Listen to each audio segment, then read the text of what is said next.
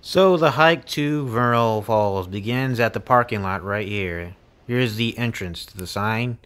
As you enter the forest, you continue through and you will reach a bridge.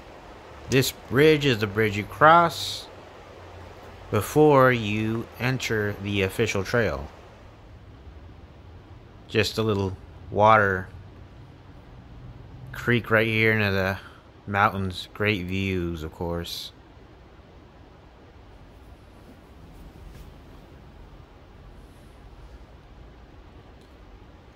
And you can continue up the trail. It goes uphill, so be prepared for a lot of elevation gain on this trail.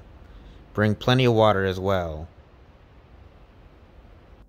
And you will finally reach a sign. It'll tell you how far the Vernal Falls is.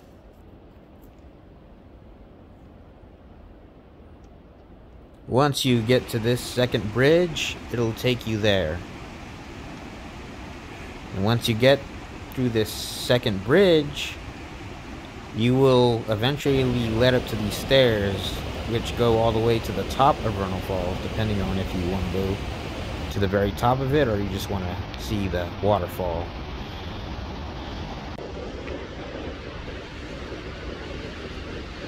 And we have reached our destination, and here's Vernal Falls.